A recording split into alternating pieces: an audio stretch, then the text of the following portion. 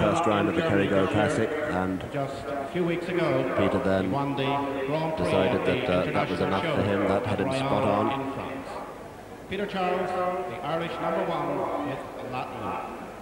winner of the Grand Prix at Royan, and of course member of the all-conquering Nations Cup team at Aachen, runners-up at Luxembourg as well, and third in the Grand Prix at La Baule.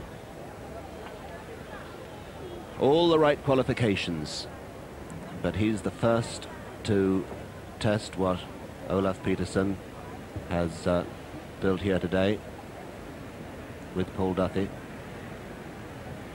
Big test.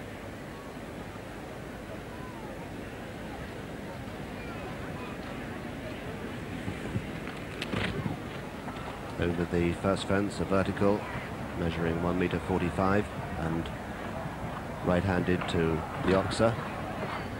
1 meter 45 in height and a spread of 160.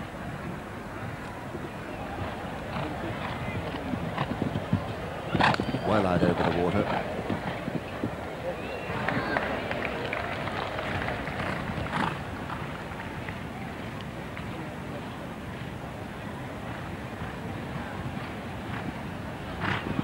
Tall vertical, and now a big oxer.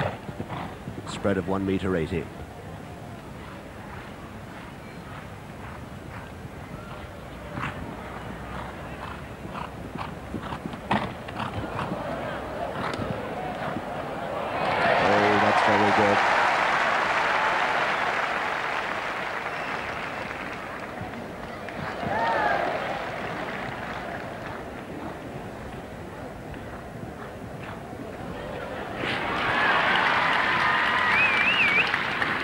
Now the double of oxers.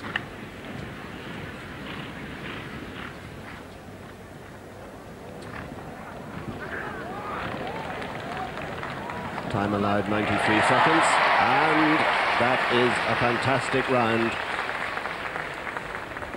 He's through our first clear round. Well, that's tremendous. That's just the start any team wishes for. A clear round for La Ina and Peter Charles.